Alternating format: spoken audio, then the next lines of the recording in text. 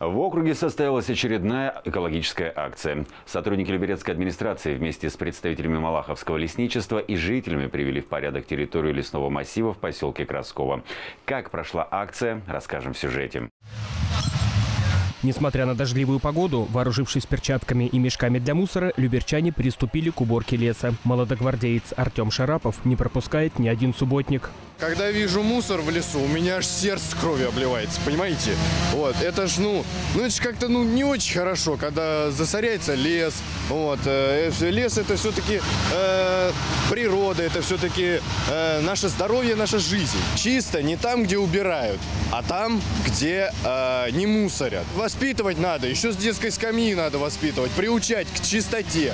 Поваленные деревья распиливали на части и отправляли в дробильную машину. Бытовой мусор собирали в бункер. Региональный оператор «Эколайн Воскресенск» его отправил на полигон ТБО. Вместе с жителями округа к экологической акции присоединился Владимир Волков. Излюбленное место наших жителей.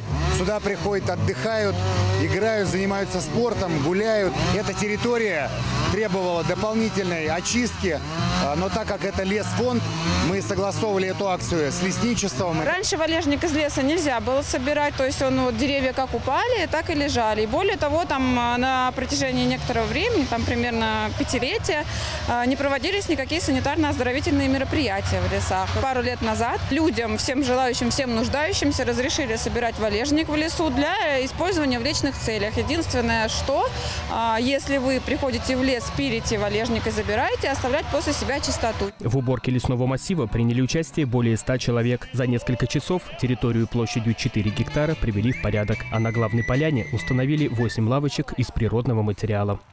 Богдан Колесников, Денис Заугольников, телеканал ЛРТ.